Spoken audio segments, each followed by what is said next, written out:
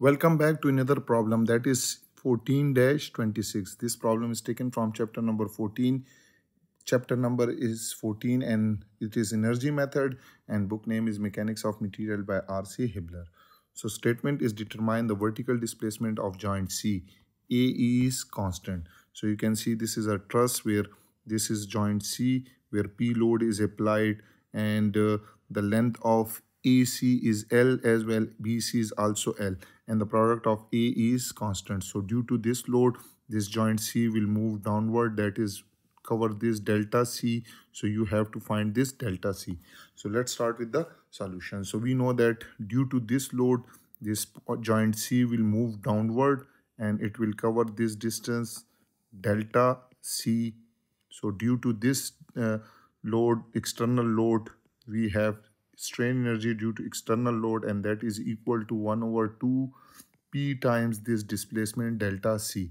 And then we will find the strain energy due to axial loading and we will as this external work is transferred to internal work so strain energy external due to external load will be equal to strain energy due to axial load. So we will use this equation. So for finding this we will find the in uh, forces in each member forces in each member member which is member AC and BC by using method of joint. So first we will find these two forces. So what we will do is we will take take joint C. Joint C. Okay. So again you can see this is your joint C clear and this is one load is this one which is F A C and this is horizontal axis. And another load will be also this one which will be equal to F B C. So since you can see that this what will be this angle so if this is this is this will become equal to L by 2 there and what will be this length? We do not know this length. This is x and this is L. So let this is theta. So tangent of theta we will use sine of theta. So sine of theta is equal to L by 2 divided by L clear. So it will be equal to 1 over 2 so theta will be equal to sine inverse 0.5 which is equal to 30 degree. So this angle is 30 degree. So this will be also 30 degree here. So this will be also 30 degree. Now we'll apply uh, equation of equilibrium that sum of all forces along x direction must be equal to 0 and force toward right side is taken as positive. So you can see FAC will have two component, one along this component horizontal and other will be vertical. Clear? Also you can see you have a a P load acting at joint C which is also represented as P. Okay, so this vertical component. So this vertical component will be equal to FAC sine of 30 degree and this horizontal component will be equal to FAC cos of 30 degree. Similarly, this downward force FBC will have two component clear.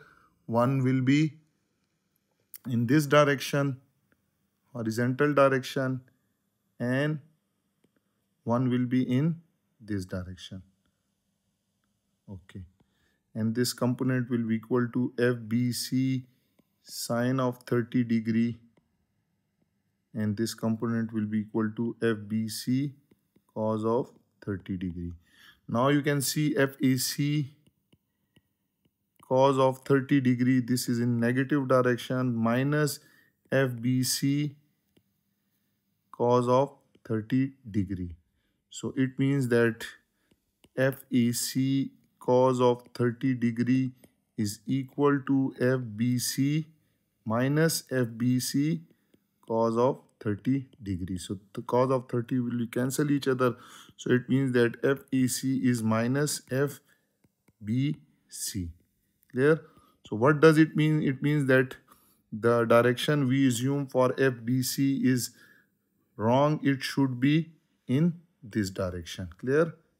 Because they should be equal to each other in order to keep in equilibrium. So FAC should be FAC is equal to FA FBC. Why assumed direction was wrong.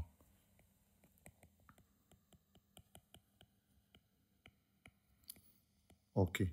Now we'll apply another equation of equilibrium that sum of all forces along y direction must be equal to 0 and upward force is taken as positive. So you can see one force which is minus P, the other force is this one FAC and since this direction is wrong so this FBC will be in upward direction. It should be in upward direction because the assumed direction was wrong. It should be like this. So it will have two component. One is this, is this direction and other one is this direction. So I will write minus P plus FBC sine of 30 degree plus FAC sine of 30 degree is equal to 0 since FAC is equal to FBC so I will write P is equal to 2 times FBC sine of 30 degree. And from here FBC will be equal to FBC is equal to 2 multiply by FBC and sine of 30 is equal to 0 0.5 which will be equal to 1 1 multiplied by FBC okay so this is equal to P. Let me correct it. This is equal to so it means that P is equal to FBC which is equal to FAC. Now you have forces in each member clear so you can apply this equation for finding the strain energy due to axial loading which is equal to sum of n square into L divided by 2A E. So 1 over 2A is outside. So we will write FAC square into LAC plus FBC square into LBC. Okay. So put the value 1 over 2 AE FAC is equal to P. So P square multiplied by LAC is L and BC is also L. So P square multiplied by L and FBC is also P, so P square into L, which is equal to strain energy due to axial loading. So this will become equal to 2P square L divided by 2AE, clear? So 2, 2 will cancel and we will get P square L divided by AE. Okay. Now what we will do is that uh, we will have we know that strain energy due to external load is equal to 1 over 2 P times delta C which is written over here. You can see that is written over here.